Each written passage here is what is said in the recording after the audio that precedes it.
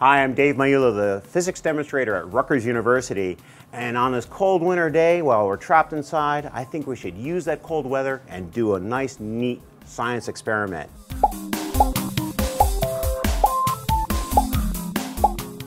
We're going to use that weather by making some colored water, and then we're going to go ahead and pour it in some balloons, one at a time.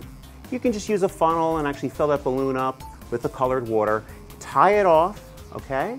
You don't even have to hang them like this, but just take them and put them outside, maybe even overnight, so that they freeze solid. You'll find that the next day, when you go out and inspect them, you'll have actually colored ice balls that you can then use to line the driveway, put on the stairs, do anything you want with, but no one's gonna quite know where they came from, which is part of the fun. So have some fun with that on this cold, icy day.